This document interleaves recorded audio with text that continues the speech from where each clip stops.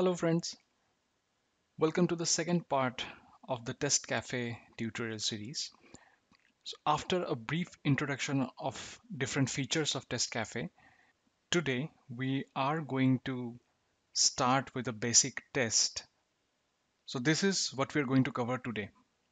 First thing is about the prerequisite that you need to ensure. Then we'll install TestCafe. Then we'll write a simple test, then we run the test, and finally we see how the result will look like. Pretty straightforward. It's not gonna take us much time. So first, regarding the prerequisites, you should already have Node.js installed on your uh, system.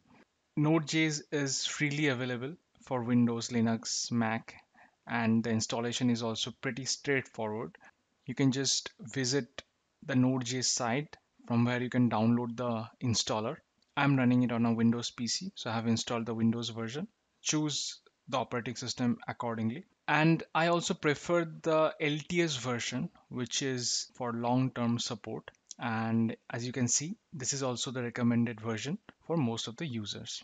In case if you want to try out the latest, the most recent features of Node.js, then you can go with the current version as well but for our purpose the LTS version would be sufficient. Second prerequisite which is not something that you would probably need by default your system comes up with a text editor like notepad and a terminal as well but I highly recommend that you also install a little bit feature rich text editor something like Visual Studio Code which I like very much.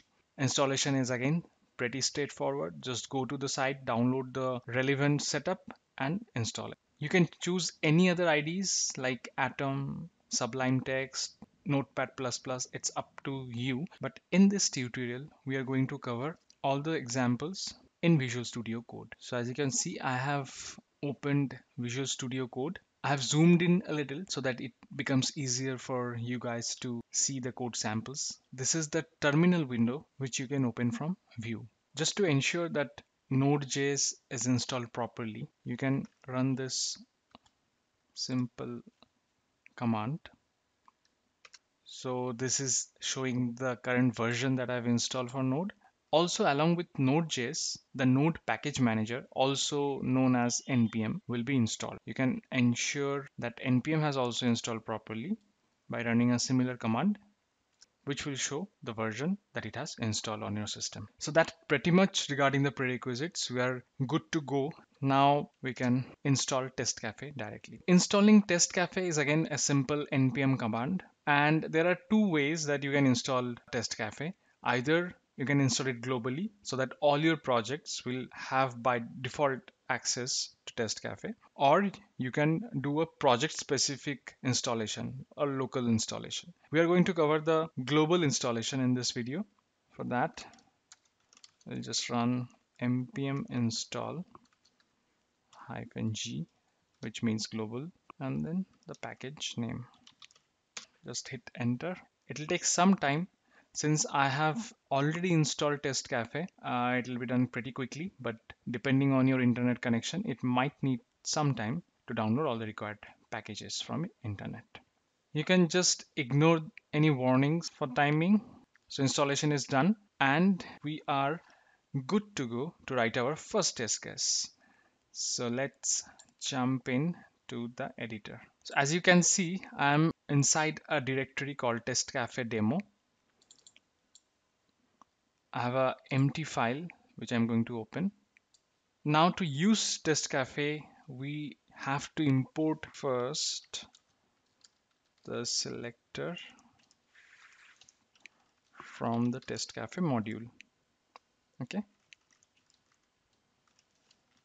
So once you have imported the module, this is going to be a fixture like a suite where you'll write all the test cases. And inside the fixture, you can mention the name I'll give a simple name and then you have to call the page function of that fixture saying what is the web URL that you are going to work with. We are going to do a quick search on Google.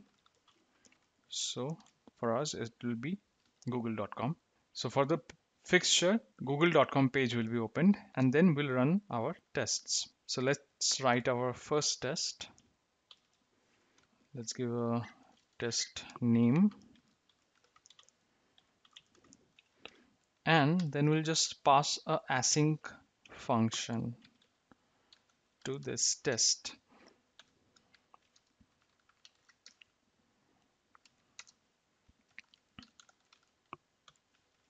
This is a special object called the test controller object, which will help us to access the test cafe API. Now, since this is an async function, we can await for individual action. For simple end-to-end test, what you usually do is you open a, a particular URL, then you do a series of actions, and then you at the end assert whether the expected result is coming or not. If whatever is expected is matching with the actual value, your test is passed otherwise it gets failed.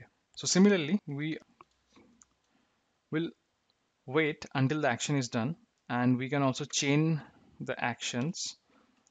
In the API there is something called type text. So you have to provide the selector and then you have to give a value that you want to type inside that element. So in the Google search input which has got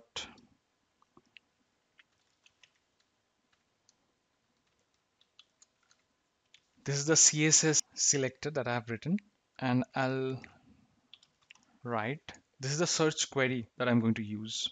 So once I have typed the text, I'll just click the search button for which I just have to pass the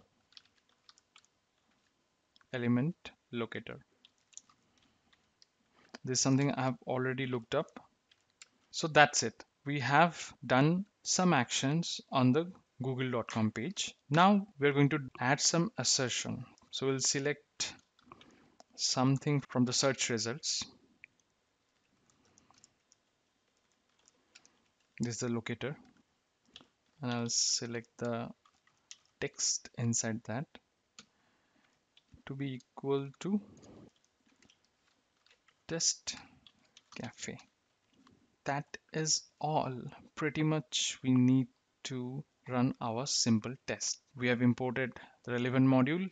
We have added our first fixture. This is the page where we want to navigate. And this is a simple test where we are just typing test cafe inside the Google search input, clicking the search button and expecting that in the search result, test cafe should be present. Let's save the page. To run this test, what you need to do is inside this directory, you have to run test cafe. Then you give the browser name where you want to run this test. So I'll be running it on Chrome. So I'll say Chrome and then the file name, which is first test.js. You can press tab so it will automatically complete the file name since we are in the same directory. And now we can hit enter and let's see what happens. The test cafe magic will begin now. So it has given me the Chrome version and the Windows version. It has opened Google.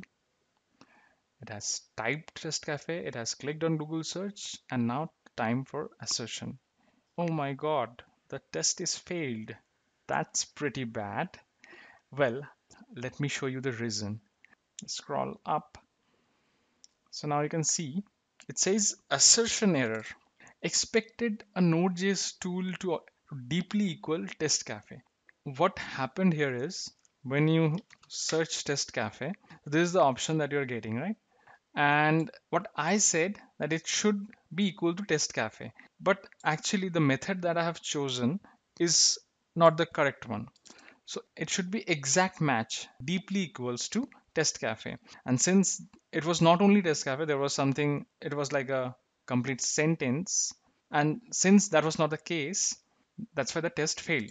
So in order to pass this test case i just want to see whether the word test cafe is there right? So I can use another method from the assertion api which is contains and then we can rerun our test. But as you can see it has quite nicely shown what is the exact root cause and where i need to do changes to fix this test.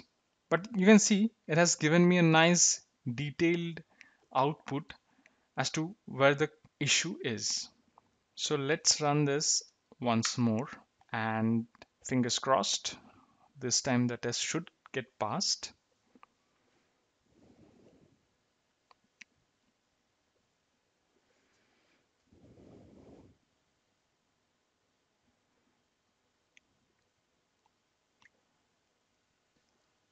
Voila, test is passed. Let me show you properly. So it says that this is the fixture. Within that fixture, we have executed this test and which is passed, right? Say, for example, we had written another test. We can just say, for example, copy paste this one and create another test. Uh, let's see, uh, it's my second test. We'll fail it intentionally. Let's say you're expecting Java.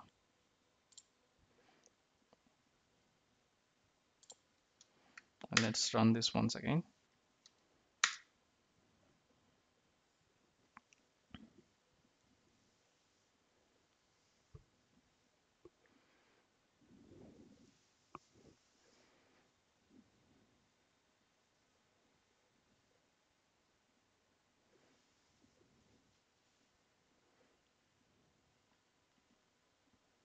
Okay, so the first test is done. Now the second test is running.